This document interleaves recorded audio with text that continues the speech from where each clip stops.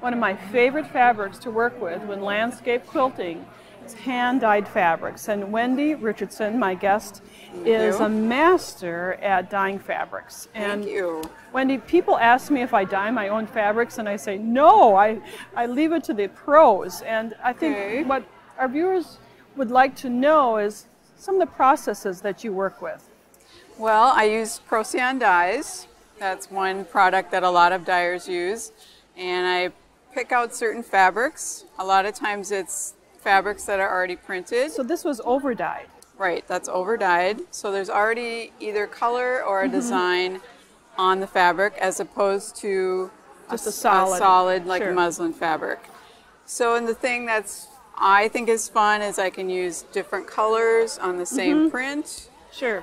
or multicolors on the on a solid or a print.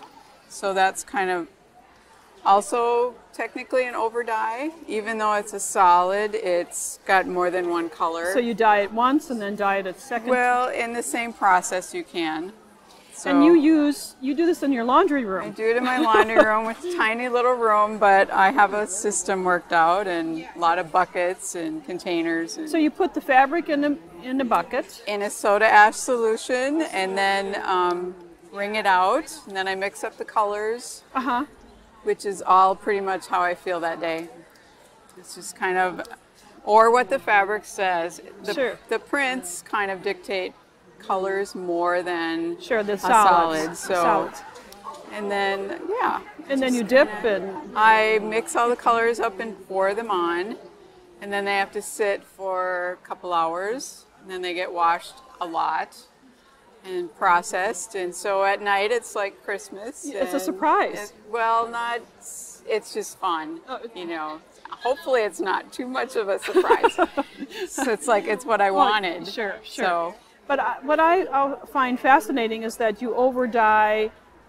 Dye vintage linens and Sure. crochets and Sure. little fun things to work with. Which can be, you're not having to make a quilt, you can just embellish with these Right, and, and work use it small. in your home or or working on a quilt, a crazy quilt. Sure. Now, here are some interesting new processes, at least to me.